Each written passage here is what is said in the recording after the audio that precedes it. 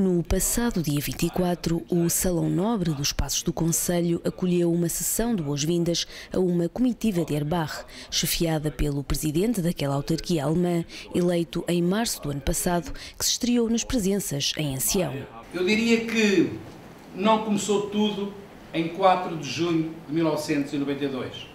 Esse foi o momento em que firmámos o Pacto de Geminação Ancião-Erbach porque tudo começou muitos anos antes, quando muitos dos portugueses emigraram para o estrangeiro, nomeadamente para Erbach, na década de 60. Tratou-se de uma estadia de cerca de três dias que coincidiu com a edição de 2019 da Feira dos Pinhões e que incluiu a visita a diversos locais do Conselho, nomeadamente estabelecimentos de ensino e empresas. Ancião acredita que com esta geminação entre Erbach, Erbach e Ancião podemos também estar a contribuir para uma Europa melhor.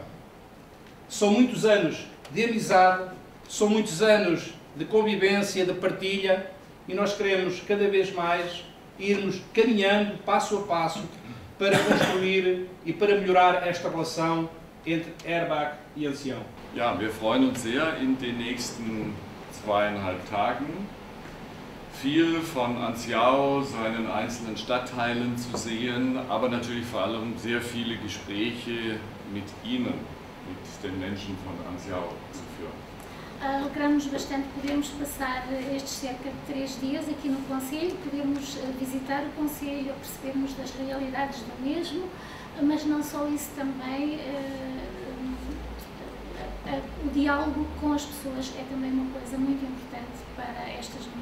Nas breves palavras proferidas ao início da noite, os intervenientes sublinharam a importância da soma de pequenos passos que contribuam para o fortalecimento da geminação entre ambas as localidades.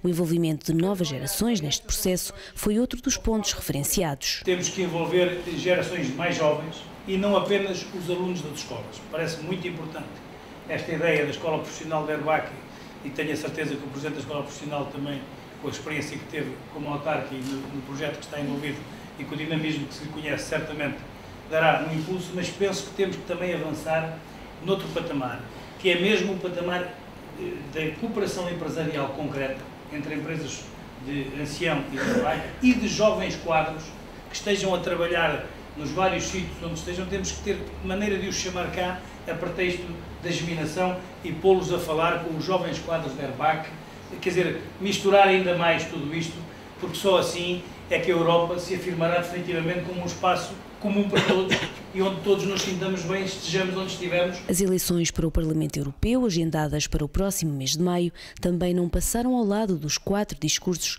numa altura em que, como foi referido, a União Europeia especificamente e a Europa como um todo enfrentam grandes desafios. As coisas não vêm da natureza, a democracia não existe por existir, nós temos que lutar para ela dia a dia. Por isso são esses passos pequenos que são importantes. Não é? Cada, cada vez as pessoas pensam, mas a paz começa no nosso ambiente familiar e tudo isso são passos que nós temos em comum.